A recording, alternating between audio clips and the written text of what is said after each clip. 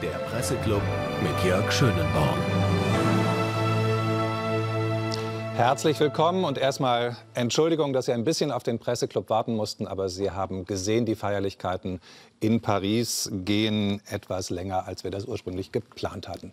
Wir blicken durchaus auf ein Land, das durch seinen Präsidenten auch vertreten ist bei den Feierlichkeiten in Paris, nämlich auf die USA. Spätestens seit Mitte dieser Woche, seit wir die Ergebnisse der Parlamentswahlen kennen, muss auch dem Letzten klar gewesen sein, dass die Wahl von Trump zum US-Präsidenten vor zwei Jahren kein Betriebsunfall war. Viele haben sich das ja nicht vorstellen können, auch nicht, dass er länger als ein paar Monate im Amt bleiben würde. Aber jetzt zeigt sich, er ist immer noch ein zu kräftiger Wahlkämpfer. Die Republikaner haben ihre Mehrheit in der ersten Kammer des amerikanischen Kongresses im Senat verteidigen können. Die Demokraten haben die Mehrheit in der zweiten Kammer im Repräsentantenhaus gewonnen. Klare Mehrheit, aber nicht so deutlich, wie das früher Oppositionsparteien bei Zwischenwahlen gelungen ist. All das spielt vor dem Hintergrund einer boomenden amerikanischen Wirtschaft. Die Arbeitslosigkeit ist so niedrig wie seit 50 Jahren nicht mehr. Und es passiert etwas, was Millionen Amerikaner Amerikaner viele Jahre nicht erlebt haben. Die Löhne steigen wieder. Wir gucken heute drauf, wie diese Wahlergebnisse zu interpretieren sind, vor allem aber, was sie für uns, für Europa, für die Zusammenarbeit zwischen Amerika und Europa in den nächsten zwei Jahren bedeuten. Unser Presseclub-Thema heute die Kongresswahlen in den USA. Erfolg oder Niederlage für Trump. Und ich freue mich pardon, auf diese Gäste. Melissa Eddy ist bei uns, die Berlin-Korrespondentin der New York Times. Ich begrüße Dorothea Siems, Chefkorrespondentin von Welt und Welt am Sonntag. Herzlich willkommen Stefan Götz-Richter. Er ist Herausgeber und Chefredakteur des Online-Magazins The Globalist. Und Christoph von Marschall ist wieder bei uns, diplomatischer Korrespondent der Chefredaktion des Tagesspiegel. Herr von Marschall, fangen wir an mit dem Blick auf diese Wahlergebnisse. Donald Trump sagt tremendous success, also großartiger Erfolg. Die Demokraten feiern hingegen ihre blaue Welle, weil das die Parteifarbe ist. Wer hat denn nun gewonnen? Wer kann feiern? Beide haben ein bisschen gewonnen und beide haben ernste Warnsignale bekommen, was die Perspektiven für die Präsidentschaftswahl 2020 betrifft. Für die Demokraten war das natürlich unheimlich wichtig, unter diesen Bedingungen zu zeigen, dass sie Wahlen gewinnen können. Wenn sie es nicht mal jetzt schaffen, wo der Präsident nur noch 42 Prozent äh, Ansehen hat und wo es doch beträchtliche Opposition in den Medien gibt, wann denn dann überhaupt? Also sie brauchten diesen Erfolg im, Demo im Repräsentantenhaus. Aber die Republikaner haben die Senatsmehrheit nicht nur verteidigt, sie haben sie sogar noch ausgebaut. Und wenn wir dann noch auf die regionalen Ergebnisse schauen, in der Fläche sind die Konservativen, die Republikaner nach wie vor dominant. Auch da haben die Demokraten etwas aufgeholt. Sie haben ein paar Gouverneursposten dazu gewonnen, sozusagen Normalisierung. Sie haben aber immer noch nicht die Mehrheit der Bundesstaaten unter ihrer Kontrolle. Was heißt das jetzt für 2020? Amerika ist die tief Präsidentschaftswahl, ja. die dann wieder ansteht, ja. Amerika ist tief gespalten. Äh, die Anti-Trump-Welle rollt, aber sie rollt nur in einem Teil. Die Demokraten haben gewonnen in den Ballungsräumen, in den Großstädten und sehr wichtig in den Vorstädten, den sogenannten Suburbs, dort, wo viele früher für Trump gestimmt haben, nach acht Jahren Enttäuschung über Obama, weiße Frauen zum Beispiel, die haben jetzt äh, für die Demokraten gestimmt. Das ist gut, das ist wichtig. Aber die Anti-Trump-Welle erreicht nicht die Kleinstädte und nicht die ländlichen Regionen. Und das sind 50 Prozent der Wähler und der Bevölkerung. Die Demokraten müssen also schaffen, dass sie eine Botschaft entwickeln und einen Kandidaten aufbauen, der auch in den Kleinstädten und den ländlichen Regionen Wähler gewinnen kann, durch Botschaften oder eben durch das personelle Angebot. Frau Eddy, Zustimmung, Widerspruch? Äh, weitestgehend Zustimmung. Also man muss auch sehen, wie wichtig es war. Die Republikaner haben aufgebaut in den Senat und der Senat stellt äh, die Richter und das ganze Justizsystem. Das heißt, die können ähm, diese Gewinn kann große andauernde Nachwirkungen haben. Aber ich glaube auch, wir haben irgendwas ganz, ganz Wichtiges gesehen bei den Demokraten und das war, dass Frauen sich mobilisiert haben. Und das ist insofern so wichtig, weil das sind Leute, die sich direkt enttäuscht gefühlt haben von, von die Richtung, ähm, wo, wo, die, wo, wo unser Land hin, hingeht.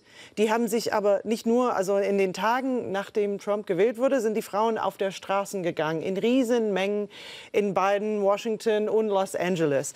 Aber damit ist es nicht zu Ende gegangen, sondern die haben sich dann mobilisiert. Und jetzt haben wir zum ersten Mal 100, also mehr als 100 Frauen, die äh, Sitzabgeordneten äh, Im sind Repräsentantenhaus, im Repräsentantenhaus. Ja. Und das ist eine Änderung, was, was zeigt, zeigt, ähm, viele Leute, die früher nicht politisch mobilisiert waren, äh, fühlen sich jetzt angesprochen, tatsächlich irgendwas zu tun.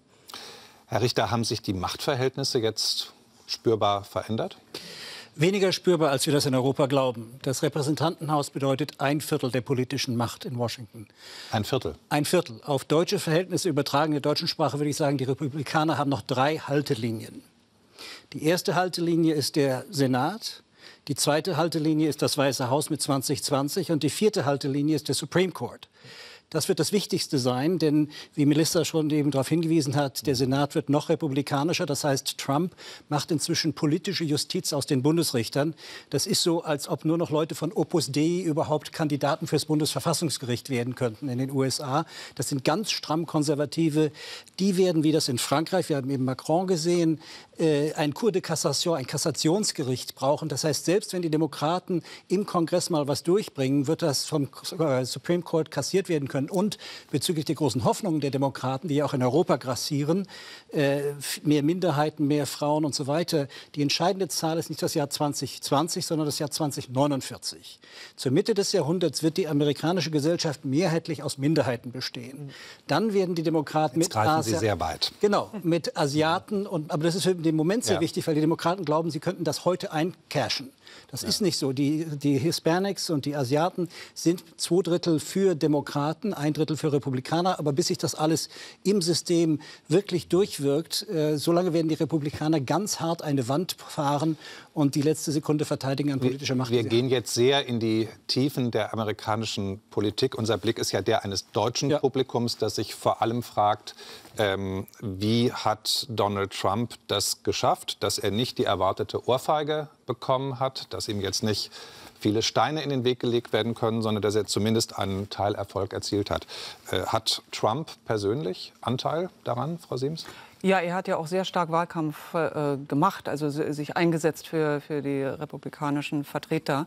Und äh, ich denke, er ist bei einem Teil der Amerikaner auch voll anerkannt. Das ist, äh, wie wir an dem Ergebnis eben sehen können, etwa die Hälfte derjenigen, die zur Wahl geht. Die andere Hälfte findet ihn schrecklich, aber eben die eine Hälfte ist nach zwei Jahren nach wie vor sehr überzeugt, dass sie genau so eine Politik haben will, mit Blick Teil Richtung Wirtschaft, aber der wesentliche Teil eben sein, auf Spaltung, auf deutliche Worte angerichteter Kurs in der Migrationsfrage. Das ist ja sein Hauptthema auch jetzt im Wahlkampf gewesen.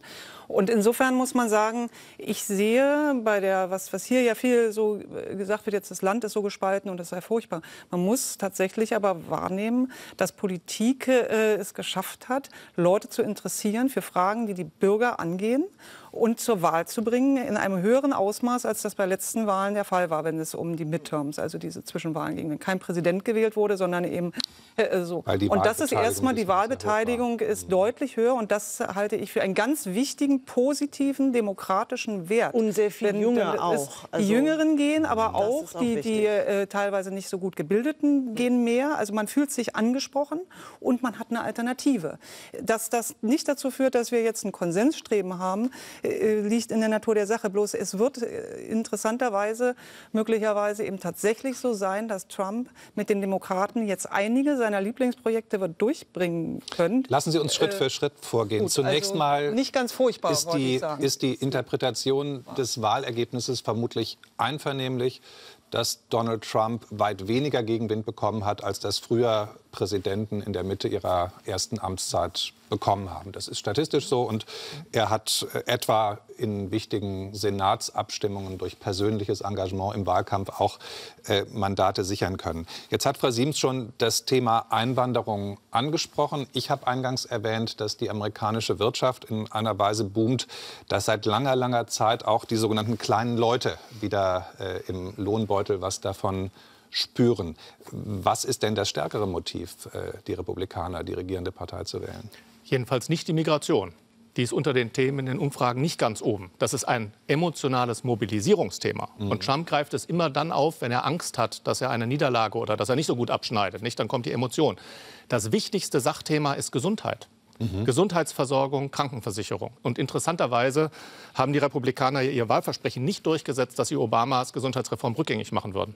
Da haben die Republikaner, sie versuchen es auseinanderzunehmen. Ich sehe äh, Melissa Eddys kritischen Blick. Ja, sie versuchen das auseinanderzunehmen. Sie haben es aber nicht geschafft, obwohl sie die Mehrheit im Abgeordnetenhaus und im Repräsentantenhaus, äh, im Repräsentantenhaus und im Senat haben, es rückgängig zu machen. Nicht? Und deshalb auch nicht, weil halt viele Senatoren und Bürger wissen und Abgeordnete wissen, dass die Bürger in den Wahlkreisen viele Fortschritte von dieser Gesundheitsreform nicht missen wollen. So. Aber führt, also das wichtigste Thema ist Gesundheitsreform. Migration kommt erst an zweiter, äh, dritter Stelle, ist aber ein Emotionalisierungsthema. Und die Wirtschaft haben Sie genannt. Das ist natürlich ganz wichtig. Wir sollten uns alle daran erinnern. Auch in Deutschland. Wirtschaft ist das wichtigste eines der wichtigsten Wahlmotive. Nicht? Natürlich, man guckt ins eigene Portemonnaie, ist man zufrieden mit dem, was man da sieht, dann ist man eher geneigt, die bisher herrschende Macht äh, an der Macht zu lassen. Und wenn es halt da ganz schlimm aussieht, dann ist man eher zu, zu Wechsel geneigt. Und diese Dinge müssen wir sehen, dass Amerika wirtschaftlich gut läuft, das hilft Trump. Und das Zweite, die Mitte Amerikas liegt weiter rechts als die deutsche Mitte. Und wir wollen uns ja auch ein bisschen darüber unterhalten, dass wir nicht immer die falschen Erwartungen an Amerika haben, dass das nur ganz anders ausgehen würde, weil wir diesen mhm. Trump so unmöglich finden. Und da muss ich jetzt doch mal der Widerstand regen. Das ist halt in der Hälfte Amerikas sieht das ganz anders aus. Frau Eddy, Herr Richter, was hat die Wähler am meisten inhaltlich bewegt? Ja, das kommt darauf an, wo, glaube ich. Also tatsächlich, äh, in, für Trump und für die Leute, die Trump gut finden. Mhm. Das war natürlich äh, diese, diese Track, was ähm, in Südamerika durch Mexiko Richtung äh, amerikanische Südgrenzung kam. Das hat er ausbenutzt und das ist ein sehr emotionales Thema. Das hat aber wiederum... Flüchtlinge, die sich Richtung Mexiko und USA auf den Genau, auf dem Weg kommen und, und sollten irgendwie das Land kaputt machen. Und er hat viele Leute dadurch, durch diese Emotion, diesen Schreck von der Idee, äh, dass es Kriminelle da in diesem Track sind, äh, der hat viele dadurch mobilisieren können. Aber wie äh, früher Christoph eben gesagt hat, unter vielen weißen Frauen vor allem, aber viele andere, das hat die abgeschreckt. Also die haben gesagt, es geht mir zu weit. Ich finde, Migration ist nicht das Hauptthema. Und das haben die Demokraten auch sehr schlau ausbenutzt ja. mit Gesundheit. Genau mit dieser ja. Idee. Die haben gesehen, das ist ein sehr großes und sehr wichtiges Thema, das vor äh, diese sogenannte Obamacare durchgekommen ist, dieses Gesundheitssystem, was Obama durchgebracht hat. War es möglich, jemand, der schon Krebs Lassen Sie uns nicht in die Details gehen. Also ja, aber das, das war so ein Drehpunkt, wo man sagte, das könnte wegfallen. Und viele mhm. haben gesagt, das wollen wir nicht. Also das war praktisch, wenn die Republikaner gewinnen, sie verlieren ihre Gesundheit. Äh, also Obwohl ihr man sagen muss, das wird in der Bevölkerung nicht nur positiv gesehen. Herr Richter ist dran. Entschuldigung. Ja. Wenn wir über die innenpolitische Bedeutung reden, dann müssen wir das Wort Weimarisierung in den Mund nehmen. Donald Trump hat eine Spät-Weimar kurz nach 32, 33 Wahlkampf gemacht. Er verteufelt die Medien, erklärt sie in kommunistischer Weise für Volksfeinde, Verräter des Volkes. Er hat damit die Medien verjudet, zu den neuen Juden erklärt. Er macht Ausländer zu Unmenschen. Immigranten, die die wahre Stärke der USA sind, wo das hervorragend klappt, weil in den USA keine soziale Hängematte für Immigranten existiert. Die Integration läuft hervorragend über den Arbeitsmarkt. So schafft man es oder man schafft es nicht. Dadurch ist das Und Land hat dynamisch. das die Wahl für ihn? Das hat die Wahl. So es geht ja um die. Es, wir, ja. wir, sagen ja, die Amerikaner wären zur Hälfte für Trump.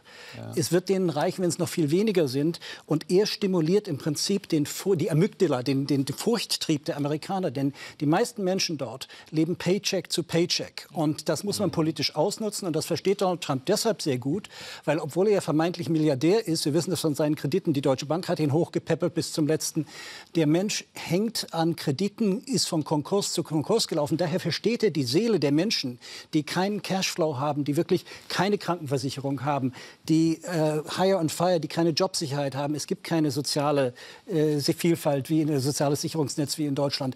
Darauf hat Trump ganz kaltblütig gesetzt.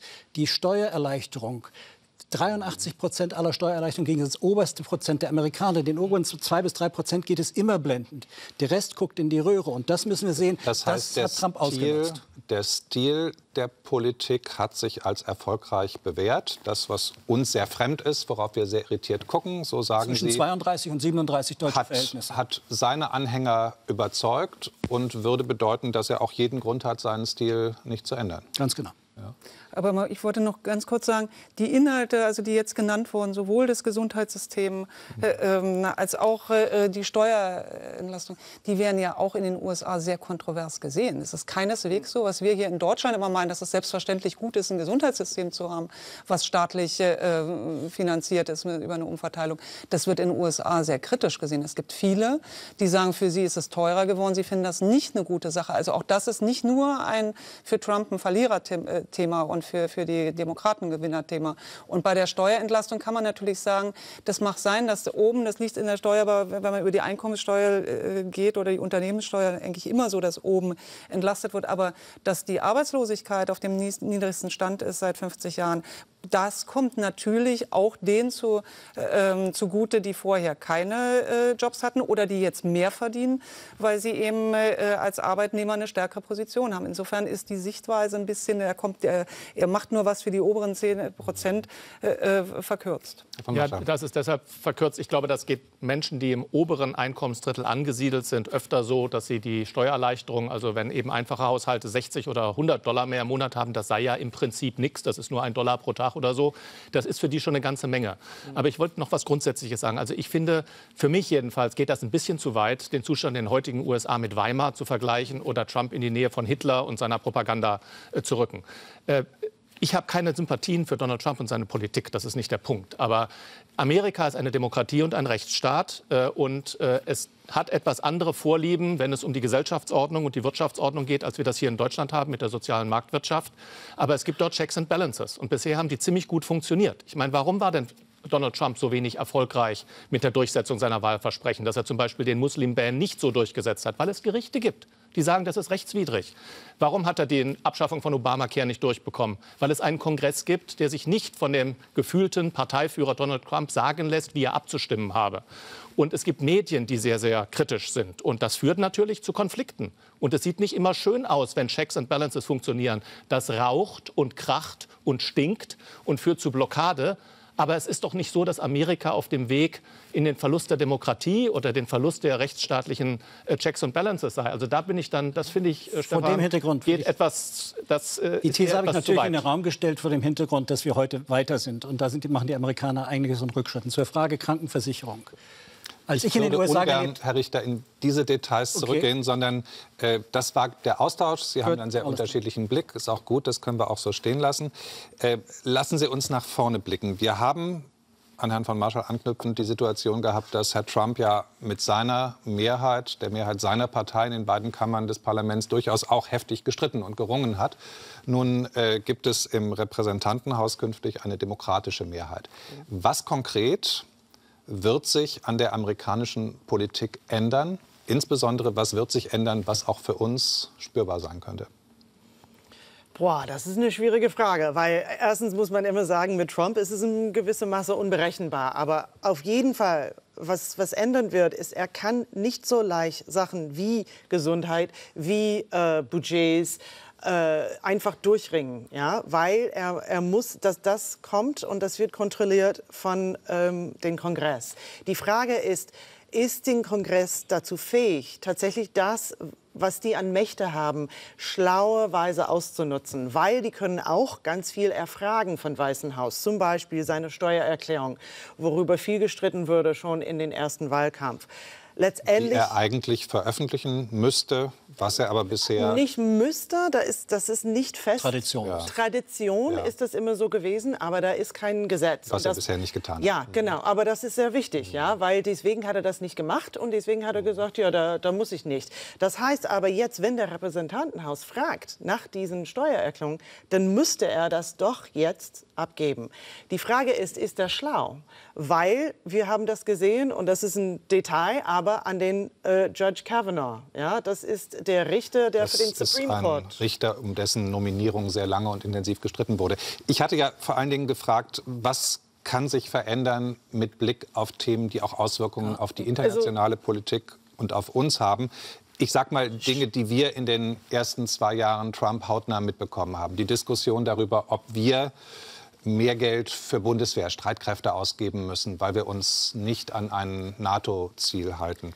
Äh, was uns ganz unmittelbar betrifft, ist die Diskussion über Zölle, über Freihandel, die zum Beispiel deutschen Autoherstellern äh, wehtut. Oder, um ein drittes Thema auf den Tisch zu legen, ganz aktuell, weil Montag in Kraft getreten, äh, Wirtschaftssanktionen gegen den Iran, ein Land, mit dem Europa gerne weiter handeln möchte. Ähm, ist bei diesen Beispielen irgendetwas, wo wir sagen können, nein, da geht es nicht so weiter wie bisher, da müssen wir mit Änderungen rechnen? Es wird sich entweder nichts verändert oder nichts, nichts. zu unserem Vorteil. Mhm. Der Trump, das hatten wir in der Pressekonferenz nach der Wahl gesehen, läuft herum wie ein verwunderter Löwe. Melissa hat eben darauf hingewiesen, dass die Demokraten genau kalkulieren müssen, was sie machen. Wenn sie ihm ein bisschen an die Gurgel gehen, wird er immer irrationaler. Das bedeutet für die Politik nichts Gutes. Denn ein amerikanischer Präsident war, egal wie immer, von einem, seinem Stabschef kontrolliert und so weiter und hat nicht impulshaft mit Twitter und so weiter alles gemacht, sondern hat rational agiert mit einem Riesenapparat hinter ihm. Das wird bei Trump eher noch weniger werden, so wie die Dinge jetzt stehen. Man hofft manchmal auf Infrastruktur, wo ein paar deutsche Konzerne vielleicht was verdienen könnten, wenn es nicht alles bei America ist. Er will Aber ein großes Programm verabschieden, wo Straßen, Brücken und andere Möglicherweise. Das gilt sozusagen als die große Brücke zwischen Demokraten ja. und Republikanern. Ob es dazu kommt, ist die entscheidende Frage, nämlich ab gestern sozusagen läuft der Wahlkampf 2020. Und da werden die Amerikaner, es ist ein Volk, was im permanenten Wahlkampf lebt. Die Demokraten haben im Moment 25 verschiedene Kandidaten. Das bedeutet überhaupt nichts Gutes für die amerikanische Politik und damit auch nichts Gutes für Europa. Die einzige Macht, die die Demokraten haben, ist, dass sie manches Schlimmere im Repräsentantenhaus verhindern können. Aber das führt nicht nichts, zu großer Rationalität. Nichts, sagt Herr Richter auf meine Frage. Frau Siems? Ja, ich, also ich würde das nicht so sehen. Erstens mal glaube ich, den wirtschaftlichen Impuls, den ein großes Infrastrukturprogramm bringen würde, das sind Staatsausgaben, die dann steigen, ist nicht zu unterschätzen für die Weltwirtschaft. Also das ist immerhin, also die USA haben da großen Nachholbedarf. Das ist ein Projekt, was die Demokraten sehr gerne mittragen, weil das nämlich eigentlich ihre Art von Wirtschaftspolitik ist. Insofern war Trump durchaus schlau, die äh, äh etwas umstrittene Steuerentlastung, die hätte er mit den Demokraten nicht so durchgekriegt, so ohne weiteres. Äh, Im ersten ersten Teil zu machen, als er die gesamte Macht auf seiner Seite hatte. Jetzt, wo es um Kompromisse gehen muss, weil diesen Teil muss er äh, im, im, Repräsentantenhaushalt mit äh, äh, bestimmen lassen, weil da geht es um Haushaltspolitik. Haushaltspolitik ist der dicke Batzen, über den eben das Repräsentantenhaus stark mitentscheidet. Mhm. Das heißt, da können sie blockieren. Aber genau in diesem Fall, der auch bei den Amerikanern sehr populär ist, werden sie sich das natürlich nicht antun, die Demokraten, weil das ist viele Amerikaner, die wollen ja, dass die Wirtschaft Wirtschaft vorangeht. Und wir haben zurzeit eine weltwirtschaftliche Lage, wo es überall auf eher etwas Abschwächungen hingeht, bis auf Nordamerika wegen der amerikanischen Wirtschaftspolitik. Also mhm. durchaus ein Faktor. Jetzt, was die Zölle angeht. Bei Zöllen muss man sagen, Trumps Vorgehensweise gegenüber der äh, restlichen Welt ist ein anderes im Stil. Inhaltlich sind die Demokraten immer protektionistischer als die, Demokra äh, als die Republikaner gewesen. Das hat sich jetzt ein bisschen verdreht. Aber natürlich sind sie immer der Meinung, es müsste ein ausgeglichenerer Handel stattfinden Richtung China und auch gegenüber, gegenüber Deutschland. Das heißt, die Haltung wird sich nicht sonderlich ändern. Es wird aber nicht so sein, also so schätze ich Trump nicht ein, wenn man anguckt, wie er in den letzten Monaten auch agiert hat, dass er uns mit einem Handelskrieg überzieht. Er wird verlangen, ähnlich wie auch bei Verteidigung, Verteidigung, dass tatsächlich Verbesserungen für die Amerikaner herauskommen. Das heißt, dass wir mehr zahlen für Verteidigung und dass wir auch bereit sind, über wirkliche Handelsliberalisierung zu reden, die den Amerikanern. Von Marschall, Frau Eddy. Ja, das ist das Problem. Also ich glaube, wir werden bei den Handelsgesprächen irgendwann jetzt eine Eruption erleben, eine große Wut, weil, weil, weil die Zeit, nein, weil die Zeitschiene nicht zusammenpassen. Donald Trump ist der Chef eines Nationalstaates. Der gibt seinem, seinem, Trade Representative, also dem Hauptverhandler, die Anweisung, ich habe das mit dem Juncker besprochen, bevor ich hier Strafzölle mache, werden wir jetzt erstmal miteinander reden. Aber der ist auch so gestrickt, dass der nach ein paar Monaten Ergebnisse erwartet. Die Europäische Union hat die Handelspolitik äh, vergemeinschaftet, also es ist nicht mehr nationale Sachen, aber sie braucht ein Mandat damit der Chef europäische Unterhandler überhaupt mit den Amerikanern nicht nur über allgemeine Ausführungsbestimmungen, sondern über einen neuen Trade Deal verhandeln kann, braucht er ein Mandat von der Kommission und vom Parlament. Das ist bisher nicht erteilt worden. Der Trump wird irgendwann aufwachen und seinen Trade Representative rufen, ich habe da im Juni was vereinbart und sechs Monate vergangen, was sind die Ergebnisse? Und dann wird er ihm sagen, du, die Europäer sind noch nicht mal so weit, dass sie ein Mandat gemacht haben. Also wenn die in Brüssel klug sind, sollten sie diesen Herbst und Winter bitte noch ein Mandat beschließen und nicht mhm. warten darauf, dass es das nächste macht. Und äh, ich, die allgemeine Erwartung meine für die, äh, für die Innenpolitik ist, es gibt diese Chance für dieses Konjunkturprogramm, weil die Demokraten es wegen den Jobs wollen und Trump will es wegen Wahlversprechen. Aber ich glaube, die Wahrscheinlichkeit ist größer, dass das blockiert wird, weil einfach die beiderseitigen Interessen, sich auf 2020, die Präsidentschaftswahl, zu konzentrieren und dem anderen nichts zu geben, was als eigener Nachteil sich auswirken könnte. Dieses Risiko ist viel, viel größer als die Wahrscheinlichkeit, dass man sich auf etwas, wo es eigentlich gemeinsame Interessen gibt, einigen kann. So ist, so ist im Moment die Stimmung. In Aber wenn die. Demokraten das Trump geben, dann kann er das für seinen Vorteil So verkaufen. es. die sind Ja. viel besser gefahren, zu versuchen, irgendwas Positives mit Gesundheit zu machen, wo die wissen, Trump wird das blockieren. Dann können die in den Wahlkampf sagen, schau, wir wollten euch dies und jenes geben und er hat das blockiert. Und das, das ist das, was sehr, sehr schwierig jetzt sein wird. Das wird genauso sein, aber auch mit, mit äh, Strafzöllen. Ja? Also da, da muss man irgendwie gucken, wie viel kann man ihm geben, weil er ist sehr schlau, um jede Bröckchen äh, gegen die Demokraten dann für seine Vorteile auszunutzen. Das heißt aber, wenn ich Sie richtig verstehe, dass innenpolitische Taktik zwischen Demokraten und Republikanern mit Blick auf das Wahljahr 2020, das gar nicht so weit weg ist, am Ende wichtiger sein kann als die Sache selbst. Auf jeden Fall. Das Also hilft alle, aber dann dem.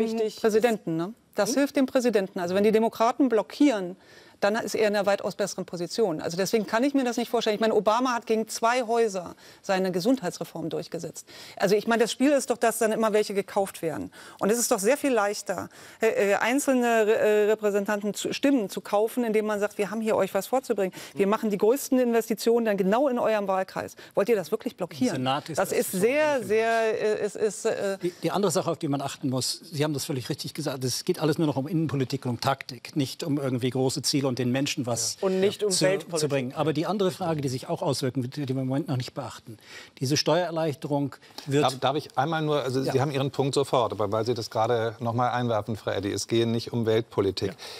Ist das wirklich der Blick, den wir lernen müssen, dass wir jetzt im Grunde auf die Präsidentschaftswahl schon zulaufen und deswegen das, was den US, in den USA passiert, parteitaktisch, machttaktisch ist und da nicht der Blick drauf ist, was tut dem Land langfristig gut? Das ist ja im Grunde das, was Sie sagen. Auf jeden Fall. Also das haben wir bisher gesehen und wir haben das auch jetzt eben in Frankreich gesehen. Was hat also der, der, der Präsident ist gekommen und was hat er denn überhaupt weitgehend und an dieses große Thema wirkt er wie gelähmt. Also das ist alles sehr kurzfristig und alles das, was ihm und dann auch äh, so mitunter seiner Partei dient. Okay, Aber vor. Trump war es auch schon immer so, dass die Amerikaner in einem permanenten Wahlkampf sind. Das Einzige, was sich geändert hat, ist, dass jetzt die europäischen und die Weltmedien über Online und sonst was das permanent auch noch abbilden.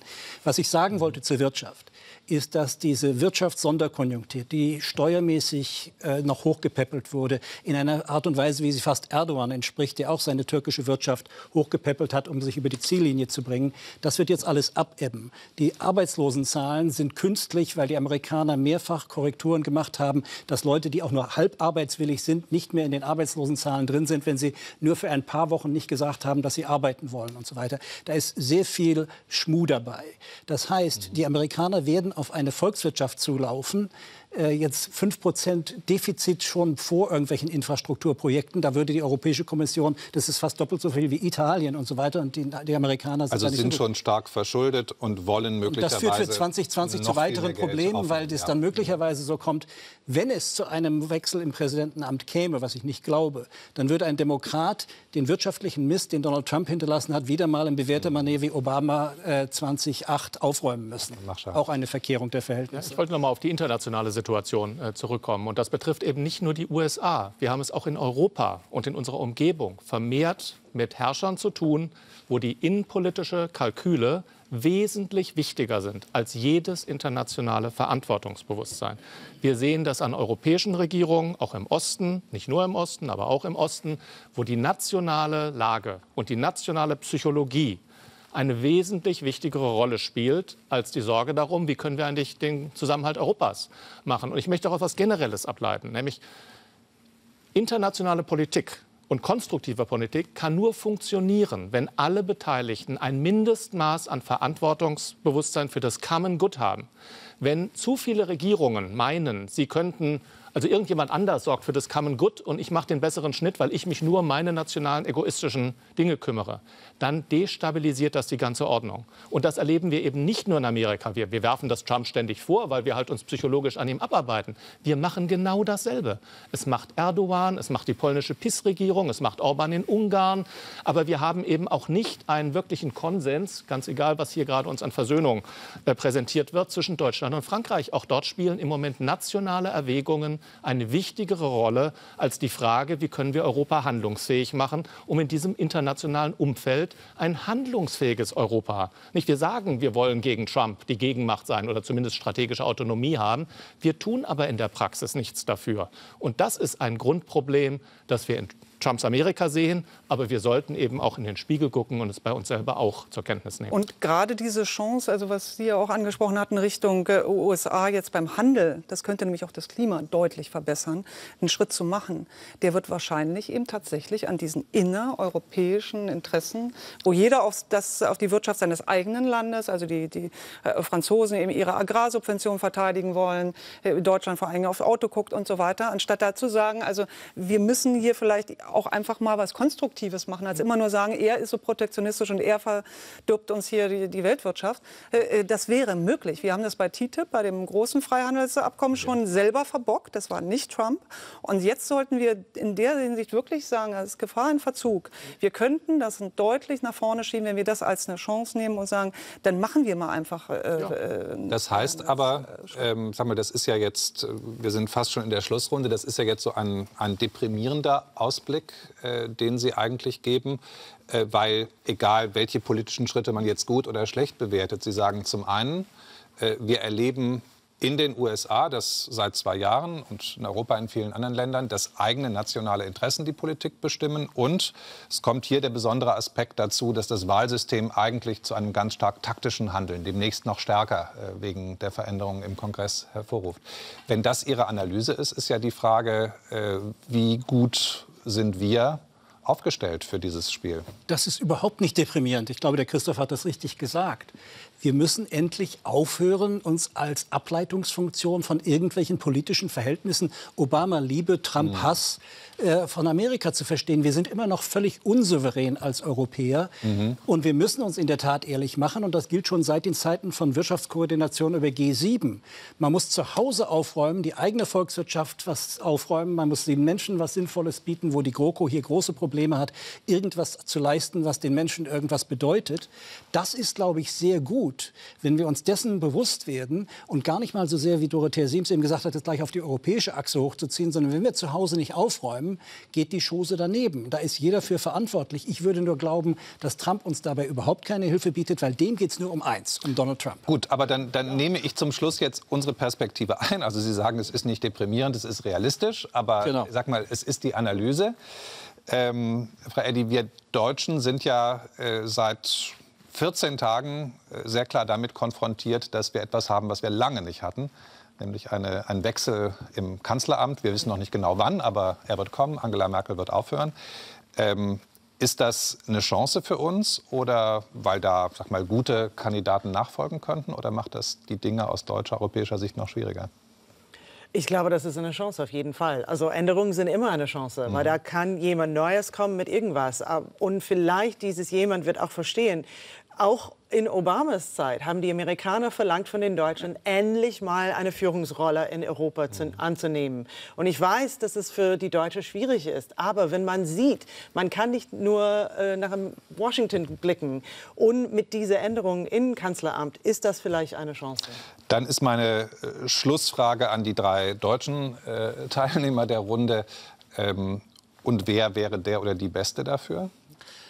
Der März, denke ich, bietet sich an. Also ich meine, der ist Transatlantiker, der ist Vorsitzender der, äh, Atlantikbrücke, die, äh, die Beziehungen pflegen. Aber ich glaube, er ja. versteht auch die Amerikaner anders. Also er nimmt ja. das nicht so. Äh, Merkel hat da viel schleifen lassen. Mein, meine Wahrnehmung ist, dass die deutsche öffentliche Diskussion sehr wirtschaftsfeindlich ist. Und letzten Endes alles das, was Merz anzubieten hätte an Pluspunkten, wird ihm letzten Endes negativ ausgelegt, weil das, naja, der ist mit den Banken und den Investmentfonds verbunden. Es wird nicht gesehen, dass er nach den Problemen von äh, der großen Firma kam, versucht hat, sie aufzuräumen, sondern es wird ihm letzten Endes angehängt. Aber alle sind gut. Also auch alle Frau. Karrenbauer kann Internationales. Herr Richter, einen Satz gebe ich Ihnen noch. Nicht alle sind gut, Semikolon. Wenn wir auf eine schwierigere Wirtschaftszeit zulaufen, nach über einem Jahrzehnt von Automatismus, ja. wo Deutschland ins Gold gegangen ist im Weltmarkt, gibt es aufgrund der Kompetenz und auch gerade aufgrund der Tatsache, dass Angela Merkel sehr wenig bei Wirtschaftsreformen gemacht hat, eigentlich nur eine Wahl, was auch für die anderen Parteien gut ist, wenn die Parteien sich voneinander differenzieren. Sogar die SPD findet die Kandidatur von Herrn Merz gut. Okay, Punkt. das war jetzt ein sehr langer Satz. Ich bedanke mich, bedanke mich für die, äh, für die kompetente Diskussion, die wir am Ende doch doch, finde ich, zu einem erstaunlichen Punkt geführt haben äh, der viele neue Diskussionen auslöst. Herzlichen Dank. Wenn Sie in der ARD dabei sind, dann jetzt im Bericht aus Brüssel äh, der weitere Blick zurück, 100 Jahre Erster Weltkrieg. Wenn Sie bei Phoenix und WDR 5 dabei sind, dann machen wir hier gleich weiter mit Presseclub nachgefragt. Bis gleich, lassen Sie es gut gehen.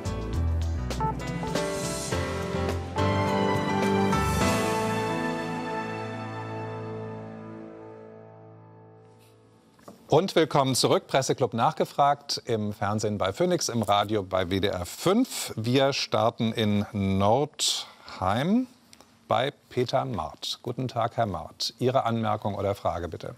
Einen schönen guten Tag. Zunächst mal ein, äh, ein äh, Dankeschön für die Runde. Es war eine sehr äh, gute Runde und die Ergebnisse fand ich eigentlich sehr gut. Äh, ich habe zu, äh, oder eine konstruktive Kritik. Man hat über die prosperierende Wirtschaft gesprochen in den USA. Das ist richtig. Das sind, da sind die Fakten, die sprechen dafür. Aber alles spricht auch dafür, weil es alles wirklich auf Pump ist, fällt es nicht nur den Amerikanern, sondern auch uns auf die Füße mit dabei. Das hat man leider nicht diskutiert. Mhm. Von wem hätten Sie gerne, wollen wir es stehen lassen oder möchten Sie gerne Anmerkung dazu hören? Ja, ich würde gerne eine Anmerkung dazu hören. Ich habe eine ganz kurz noch eine, eine, eine, ja. eine zweite Sache. Ich halte es für richtig, dass Europa endlich, endlich äh, im Verteidigungs- und Sicherheitsbereich und natürlich auch im Wirtschaftsbereich mit einer Stimme spricht. Ja. Äh, man ist nicht stark genug gegen Trump sonst. Ja, das Thema haben wir heute in der Diskussion ausgespart. Das habe ich zum Kommt, Schluss noch ganz kurz ne? mitbekommen. Das stimmt, ja. ja. ja. Danke schön, Herr Maat. Bitte schön, Frau ja, Sie, also Sie sprechen dazu den Punkt sagen. der Verschuldung an. Das stimmt. Das ist allerdings kein äh, US-Problem. Wir haben das in Europa äh, in einem hohen Maße, ohne das gleiche Wachstum zu haben. Das ist ein ganz großer Unterschied. Wir haben das auch in China und in Japan. Äh, in China wächst, da hat es andere Probleme, aber Japan beispielsweise wächst auch kaum, hat gigantische Schulden. Ein Land wie die USA, die äh, gleichzeitig hohes Wachstum haben, und zwar deutlich höher auch als wir das in Deutschland äh, haben, über Jahre und eben mit guter Perspektive ist von Verschuldung nicht ganz so äh, unangenehm betroffen, weil sie können da das auch zurückzahlen äh, und haben einen großen Vorteil, dass die Ausländer ihnen Geld schulden. Also das heißt, wenn irgendwann über Inflation der Staat sich die äh, Schuldenlast etwas leichter machen will, was er immer kann, dann äh, wird dieses Problem wunderbar auf die gesamte Welt äh, verlagert. Das stimmt. Aber wie gesagt, die USA haben auch ihre Zinsen angehoben, was wir in Europa beispielsweise nicht getan haben. Insofern ist es im Gesamten seriöser als das, was wir hier machen. Mhm. Okay, ja, danke für die Einschätzung, Frau Siems. Äh, Karl-Heinz Wostbrock, ich hoffe, der Name ist richtig, aus Mannheim, hat, glaube ich, ein ganz anderes Thema. Guten Tag, Herr Wostbrock. Guten Tag in die Runde. Mir ist aufgefallen, dass sowohl bei der Präsidentenwahl als auch jetzt die Demokraten über das ganze Land gesehen immer die Mehrheit hatten. Äh, der Senat ist fast, wie man früher schon in der Frankfurter Allgemeinen lesen konnte, oligarchisch. Und äh, liegt hier, Frau Eddy, nicht ein enormer Sprengstoff, dass die tatsächlichen Mehrheitsverhältnisse im Land nicht korrekt abgebildet werden, zwar der Verfassung nach, aber nicht der Stimmung nach? Frau Eddy, das geht, glaube ich, in Richtung des Wahlsystems, das ja, ja. Äh, dazu geführt hat, dass wir einen Präsidenten haben, der nicht von der Mehrheit gewählt ist und äh, dass im Senat sehr kleine Staaten, sehr kleine Minderheiten viele Stimmen haben. Genau, das ist das System, aber weil das zu Vorteil ist von den Republikanern und die sind tatsächlich an der Macht, wo das äh, geändert werden können mit Senat und Präsident, dann wird das einfach so bleiben. Wird das immer so bleiben oder gibt es eine Diskussion darüber? Also eine ernsthafte Diskussion darüber gibt es nicht auf mhm. der Ebene, wo es äh, passieren sollte, um tatsächlich äh, eine Änderung vorbeizubringen. Mhm. Herr Richter, Sie haben ja lange in den USA gelebt. Wird das dort als ungerecht, als Problem empfunden oder ist das nur unser deutscher Blick darauf? Wir sind ja mit einem absolut repräsentativen System vertraut. Es ist ungerecht. Es steht in der Verfassung. Es ist von den Verfassungsrichtern so angelegt. Die Republikaner werden dem nie zustimmen. Und es wird noch viel schlimmer. Denn die Menschen ziehen ja immer mehr in die großen Städte. Mhm. Und es gibt die kleinen Bundesstaaten, man kann mit weniger als 18 Prozent der amerikanischen Bevölkerung die Mehrheit im Senat erreichen, indem man alle kleinen Staaten zusammenbastelt. Ja. Wenn man sich das anguckt, es gibt inzwischen in den USA 56 Städte, die als Metroregion mehr Bevölkerung haben als die meisten dieser kleinen US-Staaten. Da werden immer noch mehr Leute hineinwachsen. Es ist also nicht nur Kalifornien gegen North Dakota oder so, sondern die USA stehen vor einem War on the Cities. Die Stadt und Land, der Disput ist genauso schlimm und strukturell so problematisch, wie das in Japan schon seit langem der Fall ist. Mhm. Wo die Menschen in der, die, die LDP nicht wählen, die nicht in den Städten wohnen, äh, die in den Städten wohnen und, die, und so weiter. Und das ist ein ganz großes Problem, was bezüglich der Dorothea okay. Siems und des Wachstumsimpulses ja. der USA zu großen Problemen führen wird, weil das natürlich all das, was die dynamischen Kräfte sind, nicht befördern, befördern wird, sondern okay. politisch ins Gegenteil geht. Vielen Dank. Aber mal, ich habe verstanden, die Diskussion führen wir, die wird in den USA nicht ernsthaft geführt. Und Ganz egal, genau. wie wir jetzt darüber reden, es wird sich, es wird sagen sich die Experten, nicht in unserer Lebzeit nicht, ändern. Okay, nicht in unserer Lebzeit. Ja. Gut, dann, äh, Herr Bosbock, ist nicht die Antwort, die Sie hören wollen. Aber Gruß nach Mannheim. Und äh, Bremen ist unsere nächste Station. Laura Jöns. Guten Tag, Frau Jöns. Bitte, Sie sind dran. Guten Morgen. Ähm, ja, guten ich Morgen. habe eine Frage und zwar ähm, das Gerrymandering, also diese Wahlkreiszuschneidung, ähm, die in Amerika ja immer äh, stattfindet. Inwieweit hat das denn jetzt bei den Midterms ähm, Auswirkungen gehabt?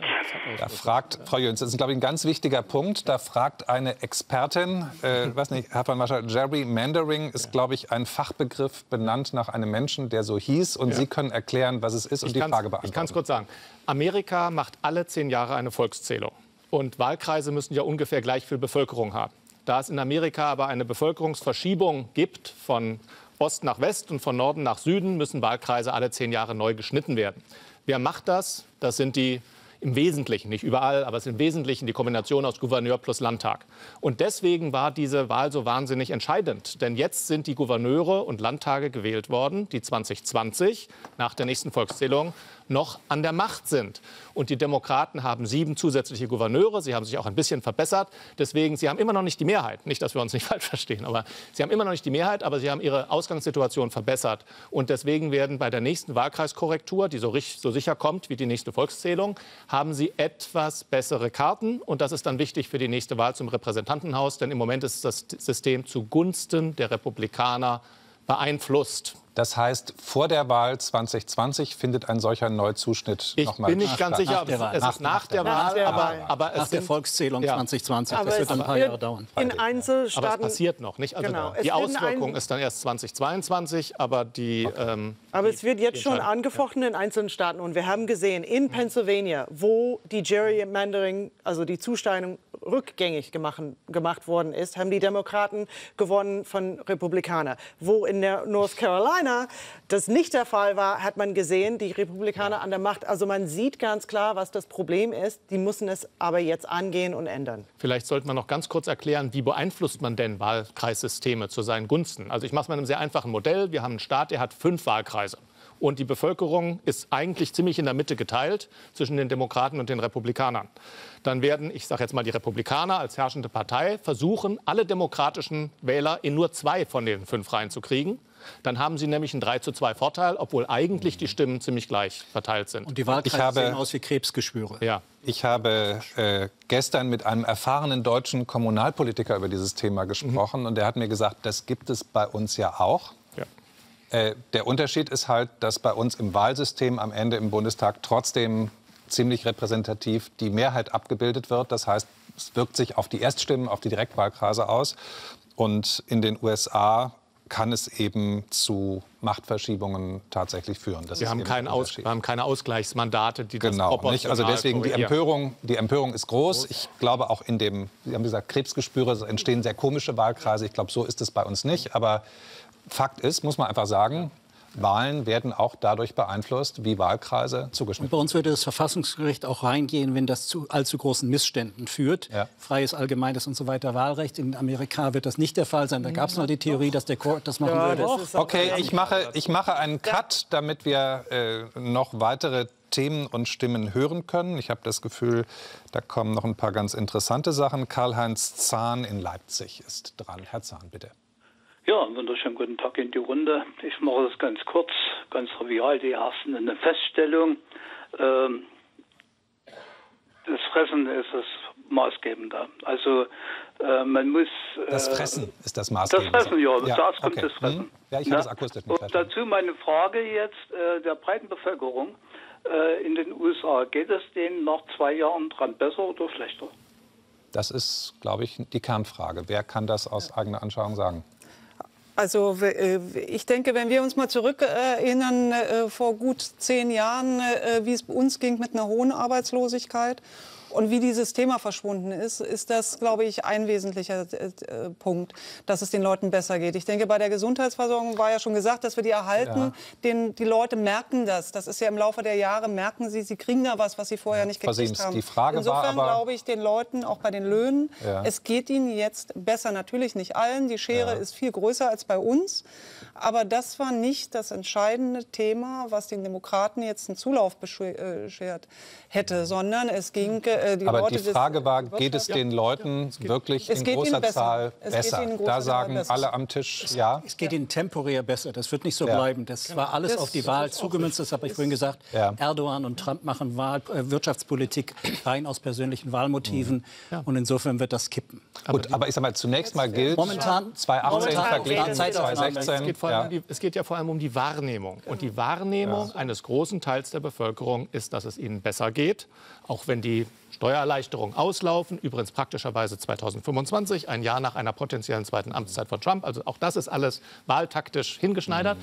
Aber Sie können das in den Umfragen sehen. Es ist nicht so, dass die Mehrheit der Amerikaner sagt, das Land ist auf dem richtigen Kurs. Es ist immer noch eine Minderheit. Mhm. Aber unter Obama war der der Anteil der Leute, der gesagt hat, wir sind auf dem richtigen Kurs, noch viel niedriger als okay. jetzt unter Trump. Aber, aber Herr Zahn, Ihre Frage habe ich versucht, zugespitzt besser. beantworten zu lassen. Sind Sie zufrieden? Oder? Ja, also äh, ungefähr das, was ich erwartet habe. ja. okay, aber ich recht nee, Sie haben es Sie sehr gut zugespitzt. Ich danke Ihnen auch. Gruß nach Leipzig. Und äh, machen wir München noch. Georg Kolb. Guten Tag, Herr Kolb. Ja, guten Tag. Ich fasse mich auch kurz. Zwei kurze Fragen. Frage 1, hat sich das Thema Impeachment erledigt? Amtsenthebungsverfahren, hat sich das erledigt? Ja. Frage 2. Frage 2, muss man sich um die Gewaltenteilung durch Trumps Einflussnahme äh, seitens der Besetzung von Justizämtern als gefährdet ansehen? Danke, ähm, ich würde Ihnen angekommen. das überlassen, dass Sie die Frage weitergeben. Ja, okay, dann sind Sie meiner, meiner Frage, meiner Rückfrage zuvorgekommen. Ähm, ist das Thema Amtsenthebungsverfahren erledigt? Wer mag dazu kurz was sagen? Ist es. Ist erledigt? Auch Zweidrittelmehrheit im Senat. Das wäre nur Showtrials. Okay. Auf Steuererklärung von Trump zu gehen, wenn, ist sehr viel sinnvoller. Okay, zweite Frage von Herrn Kolb. Die Art und Weise, wie Richter besetzt werden, ist das Gefahr von Checks, das System von Checks and Balances durch Trumps Handeln in Gefahr? Nein. Nein, das ist nicht in, Entschuldigung. No, go ahead. Ähm, nein, das ist nicht in Gefahr, sondern es verschiebt sich in eine Richtung, die uns hier politisch nicht passt. Mhm. Und das ist ein gewaltiger Unterschied. Es ist ja ein, ein etabliertes System, wie Richter ernannt werden, nämlich äh, der Präsident macht den Vorschlag, der Senat muss darüber abstimmen. Das führt natürlich zu politischen Verschiebungen äh, im Moment, aber äh, es ist nicht so, dass dadurch das System ausgehebelt wird. Das finde ich eine etwas zu scharfe äh, vielleicht nicht ausgehebelt, aber es sind gewisse Grundsätze, die in Gefahr sind. Zum Beispiel durch Trump wird das ganze Justizsystem viel weiter nach rechts rücken. Das heißt, Frauen müssen befürchten, äh, ihr Abtreibungsrecht zu verlieren. Nein. Also da sind, da sind grundlegende Nein. Fragen, wo ich finde, es wackelt. Mhm. Okay, lassen wir so stehen. Ähm, und ich schaue mal, ob wir es schaffen, Michael Engel in Saarbrücken ganz kurz noch mit reinzunehmen. Wir laufen auf das Ende der Sendung zu. Herr Engel, Sie sind dran. Ja, guten Morgen in die Runde. Äh, ich habe eine Frage an die äh, Vertreterin der New York Times. Und zwar geht es darum, dass Sie sie abgewürgt hatten, als sie äh, erklären wollte, warum das nicht klug wäre, von Trump zu verlangen, seine Steuererklärung zu veröffentlichen für die Demokraten. Zweite Frage wäre, warum ist es so problematisch, in die, in die Wahllisten sich eintragen zu lassen? Okay, danke. Ich entschuldige mich fürs Abwürgen. Ich habe einfach versucht zu strukturieren. Aber Frage, warum ist es unklug, wenn die Demokraten versuchen, die Steuererklärung zu erzwingen? Weil Trump kann das gegen letztendlich die Demokraten benutzen, über die Emotionen. Der kann sich als der große Verlierer darstellen. Das hat er schon mal gemacht in diesem Wahlkampf mit der Ernennung von seinen sehr konservativen Kandidaten für das höchste Gericht, Supreme Court. Und das hat viele Leute mobilisiert im letzten Moment. Und genau das könnte er für seinen Vorteil benutzen mit, eine, ähm, mhm. mit diesem Prozess. Okay, zweite Frage. Herr Engel, was war nochmal die zweite Frage? die zweite Frage ist, äh, es ist doch ziemlich problematisch, sich in die Wählerlisten eintragen ah, okay. zu lassen. Und ja. warum, warum gibt es da keine Bemühungen, äh, das zu vereinfachen? Ja. Okay, das kann ich leider nicht mehr beantworten lassen, weil wir auf die Nachrichten zulaufen. Ähm, das ist Ländersache. Es ist, Länder, es, es ist, ist Ländersache, Ländersache, und, und genau unterschiedlich. Es fehlt ein Personalausweiswesen. Okay. Bedanke mich sehr herzlich, äh, sage Tschüss, lassen Sie es gut gehen, schönen Restsonntag aus Köln.